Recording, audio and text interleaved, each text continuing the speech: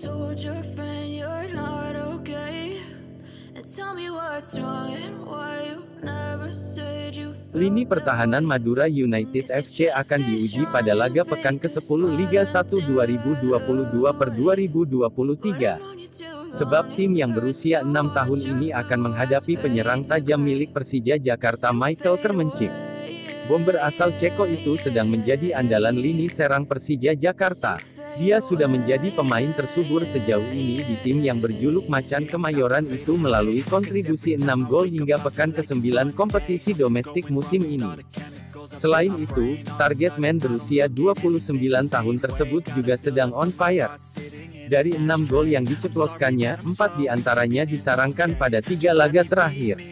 Seperti satu gol ke gawang PS Barito Putra, Minggu tanggal 11 September tahun 2022, dua gol ke gawang Bayangkara FC, Sabtu, tanggal 3 September tahun 2022, satu gol ke gawang Arema FC, Minggu, tanggal 28 Agustus tahun 2022. Pelatih Madura United, Fabio Lefundes mengakui pemain asing tersebut perlu diwaspadai. Dia berharap, anak asuhnya, terutama barisan pemain belakang bisa tampil lebih solid dan mencegah Kermencik beraksi. Selain mengantisipasi kontribusi Kermencik, Fabio juga mengimbau Fahrudin W. Arianto dan kolega bisa meredam pemain Persija Jakarta yang lain, terutama yang bermain pada pertandingan tersebut.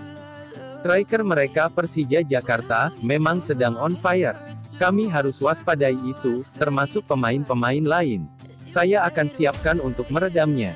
Kami upayakan bisa lakukan itu nanti di rumah mereka, kata Fabio, dikutip dari Liga Indonesia Baru, Jumat tanggal 16 September tahun 2022. Madura United dan Persija Jakarta akan saling berhadapan di Stadion Patriot Candrabaga, Bekasi, Jawa Barat, Jabar, Sabtu, tanggal 17 September tahun 2022. Terima kasih telah menonton video ini. Semoga bermanfaat bagi kita semua. Dari Studio Rosya TV mengabarkan.